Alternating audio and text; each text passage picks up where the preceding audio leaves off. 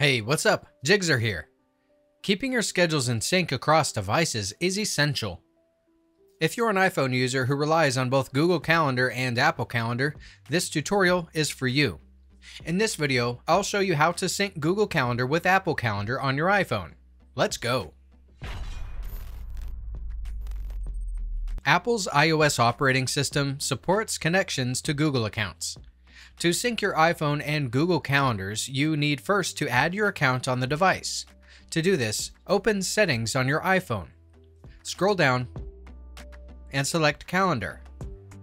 Then tap Accounts. Choose Add Account from the bottom of the list.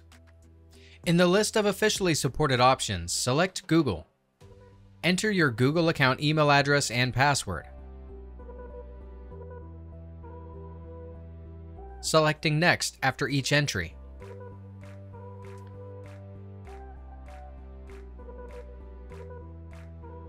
If you only want to sync the calendar, deselect everything except calendars. Optionally, select the other sliders for mail, contacts, or notes if you want to sync them on your iPhone. Tap Save, and wait for your calendars to sync with your iPhone. Depending on the size of your calendars or the speed of your connection, this process can take several minutes. Charging your device during this period could speed up the syncing process. When the sync is complete, Gmail appears in the calendar list. After setting up your account, open the calendar app on your device. At the bottom of the screen, tap Calendars to display a list of all your iPhone has access to. It'll include all of your private, shared, and public calendars linked to your Google account.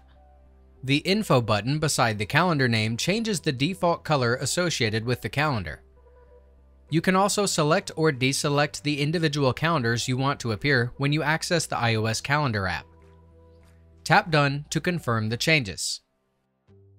Google Calendar supports several features that do not work on Apple's Calendar app, including the room scheduling tool, the creation of new Google Calendars, and the transmission of email notifications for events.